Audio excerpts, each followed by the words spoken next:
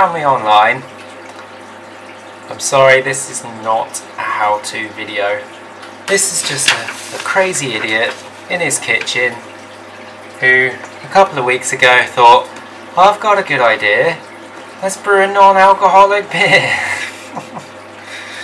New Year's resolutions, we all have them. At the time, they're a good idea. A couple of weeks later, what the hell are you thinking? One of mine this year was to drink less during the week.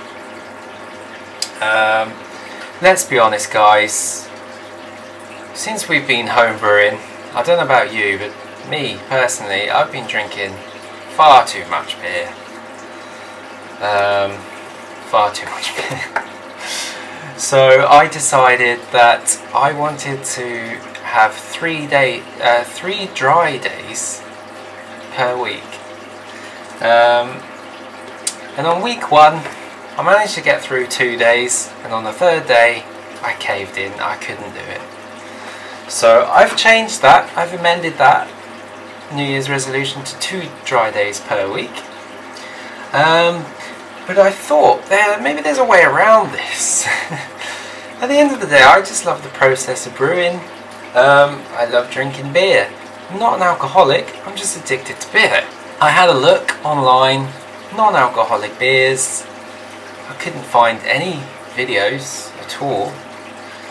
Um, and what I did discover is some people have brewed just a normal beer, they fermented it a couple of weeks, and then they popped it back into the boiler and basically boiled the alcohol away, which doesn't sound very nice, does it? You look on the market, there's not a lot of non-alcoholic beers. There are a few that are 0%, which, you know, what what is in that? Oh, that must be full of shit, full of chemical crap.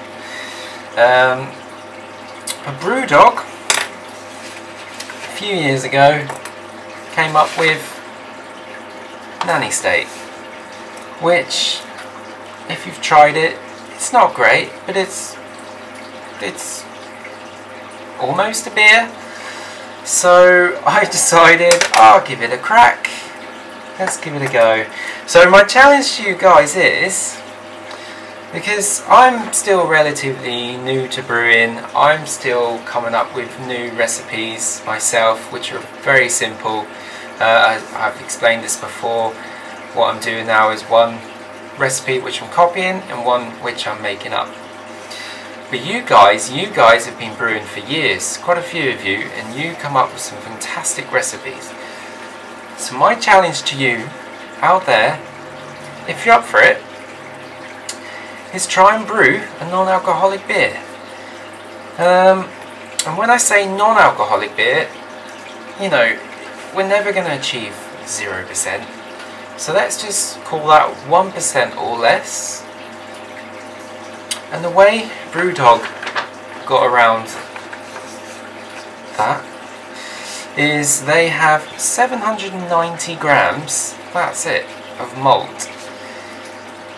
And it's 1, 2, 3, 4, 5, 6, 7, 8 different varieties of malt. We've got Munich, Caramalt, Crystal 150, Amber, Dark Crystal, Chocolate, Wheat and Rye. So maybe that's the way around it, just many different types of malts, keep it below um, 800 grams I guess. And a shit ton of hops. Now I'm under no illusions here.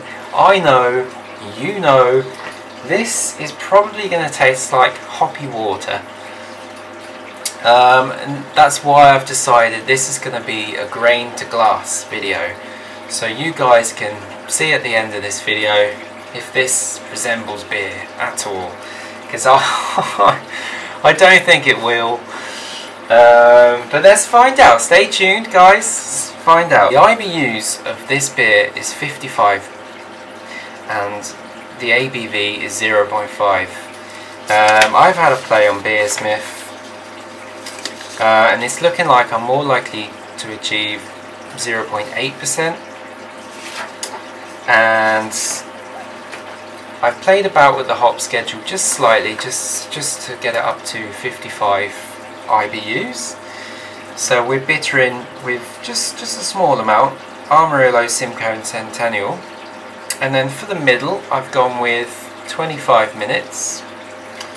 And then I'm also to chuck in a few hops, 5 minutes towards the end of the boil, lower it to 80 degrees, and I'm to steep one, two, three, four different types of hops, and then dry hop. And, and the mash process, obviously 790 grams, you don't really need a lot of water for that. So what I did, um, I got my stovetop pot and I just chuck the grains in here and I chucked two litres of water and I just played about with the temperature and, and tried to maintain it around 65. Uh, the recipe says half an hour but you know I had to heat up 27 litres of sparge water which you know I can't do that in half an hour so I ended up mashing at 55 minutes um, and it, it, started at 65 degrees and it, it ended up around 58 um, because you know it isn't great in this little thing. So I all I did then is everything in here I dumped into my mash tub.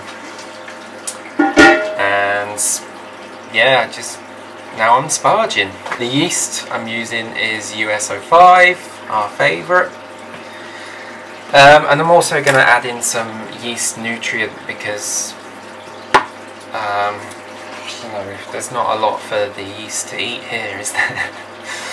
uh, I will chuck in the whole packet, but who knows? Who knows? As as you can imagine, I am I I would I was you know I am gagging to go onto BrewTube and ask for advice. Um, I want to know if anyone else has brewed this before, but I thought, nah, fuck it, I'm just gonna leave it. I'm just gonna I don't know what I'm doing really, um, but I'm just going to brew like it's an ordinary beer, and we'll soon find out, won't we, if, uh, if I've completely fucked this up. This is probably going to be one of those that gets chucked, but hey, altogether this cost me like 15 quid for the ingredients, so you know, it's worth a try, isn't it? It's worth a try you know, maybe I'm going to start a new craze here, non-alcoholic homebrewing. Oh, I fucking doubt it. Uh, I'll catch you in a bit, guys.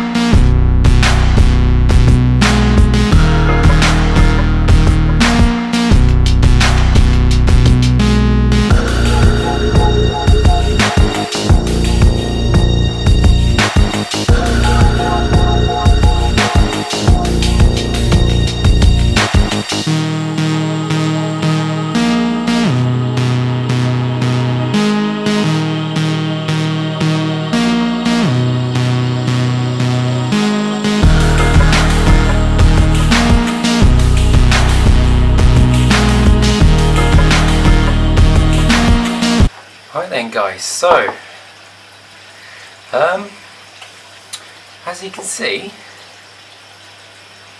it looks like beer. Um, I don't think the camera picked that up properly. Um, glasses on. It came out at 10.07 maybe 10.08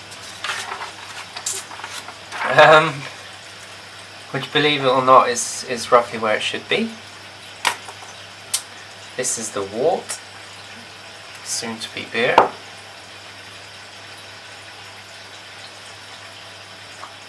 Mm. Okay, so, you know, it never tastes good, does it? But it's quite bitter actually. And it's clearly, clearly very thin. Um, and what I've done, yeast nutrient, so I've put in a tea, a whole uh, teaspoon, um, 10 minutes before the end of the boil and I'm I think I'm going to go with it and put more maybe another half a spoon into the fermenter. Uh, I'm going to put the whole packet in. It seems weird because uh, maybe this is too much maybe I should only put half a pack but I'm going to go for it. So I'll see you in maybe four four to six weeks when I do a taste test.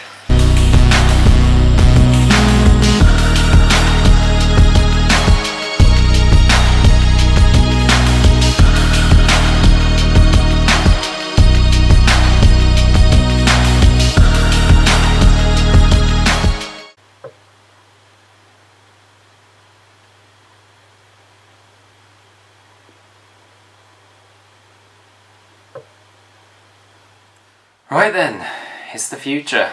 It's the 22nd of Feb. I previously left you on the 19th of Jan. So we've been in the bottle for about two and a half weeks.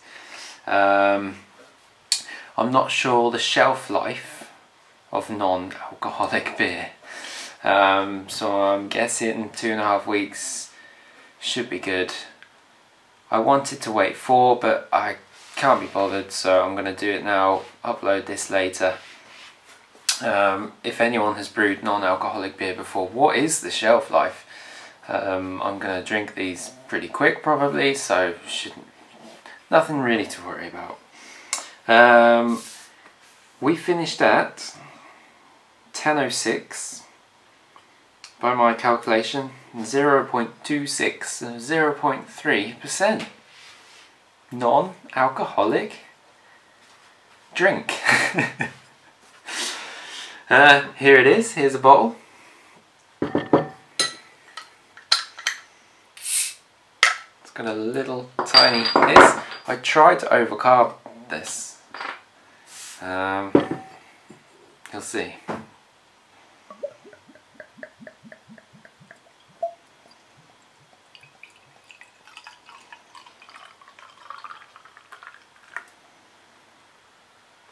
there isn't much head. Uh, this uh, confession, this isn't my first one. There isn't a much head um, and it does dissipate very quickly. And I'm guessing the reason for that is the yeast in there was hungry. The yeast that's in the bottom of these bottles, it was hungry. So I added priming sugar to the priming bucket as I always do like I said, as the yeast was hungry, maybe it created some alcohol? Don't know. Um, but anyway, there are no streaming bubbles. Are there a few? Are there a few actually? Uh, you can't see that. As you can see, it's nice and clear. Um, probably because it hasn't got a lot of malt in there. um, the aroma, well, let's just say it's like a, a soggy hop aroma. It's not bad. It's a soggy hop. It's the best way to describe it, like fresh. If you get your hops and dip it in water, that's the aroma. But it's not bad. And um, anything else I should mention? Oh, one thing I should mention. So a bottle like that, 500 pint-ish, 35 calories according to Beersmith. 35 calories, 0.3-ish percent. Have as many as you want, guys, during the week. You know? What does it taste like? Well,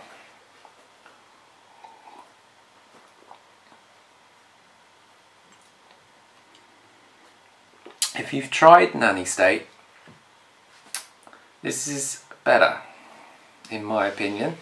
And I have, um, I did some research. Probably should have kept one of these to do a side-by-side -side comparison, but I'm not bothered about that. If it tastes the same or not, I'm not bothered. I'm really not bothered. Uh, so there's the real deal. I think this is better because theirs is Theirs is actually carbonated, which is weird, um, and mine is flat. But theirs is too bitter. It's too bitter. It's not. It's not very nice. And this is bitter too. Uh, I'm not going to say it's not bitter because it, it, in comparison to other normal beers, it's bitter.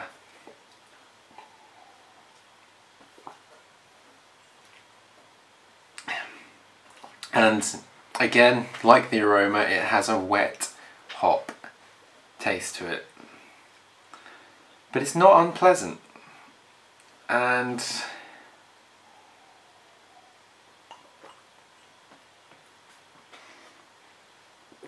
you know, by by a million miles, it's the best. In my opinion, my humble opinion, this is the best non-alcoholic beer that I've ever had. And I made it myself. Um, if you compared this to a normal beer, this tastes like shit. You know, let's be honest about it. If you put that in front of someone who, who didn't know what it was, they're like, what is, what is that? That's a bit weird. It's not, it's not like uh, your average day pale ale or anything. Um,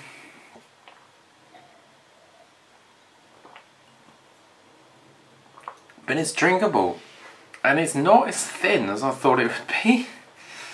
Um, it feels like beer. It tastes like drinking a beer. It tricks your senses. and I actually quite like the bitterness.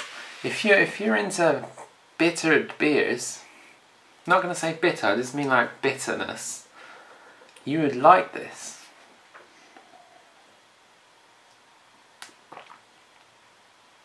So the conclusion is, guys, give it a try. Seriously, give it a try because it's it's you know it's not great. It's not great. It doesn't replace beer. No fucking way. no way does it replace beer. But I think I mentioned this before. I don't need to explain why. There's an there's there could always be an occasion why you need a non-alcoholic beverage. And don't drink Coke because Coke is full of sugar. It's full of shit. This is 35 calories. Probably has sugar in it too. But it's 35 calories guys. That's it. No alcohol here. I can go and drive. Possibly. No, of course. Of course I can. I can go and drive because there's no alcohol in this. Um, although, like I said, maybe the priming sugar has bumped up the percentage up a bit. Um, which is possibly why on here they got 0.5% so maybe it is now 0.5% I don't know how I, I can calculate how can I calculate the actual alcohol content in here? I don't know. But anyway it's got bugger all in there. So the conclusion is, guys, give it a crack. Um, if you're an experienced brewer and you want to have a go at making your own recipe, I copied theirs, but if you want to have a go making your own, please do and please share um, because this solves a problem for me because I drink too much and as I've mentioned before I need to go two three days a week where I'm not touching alcohol. It's a sensible approach. Um, so this is my cheat. So take care everyone. This is one take. Ooh see ya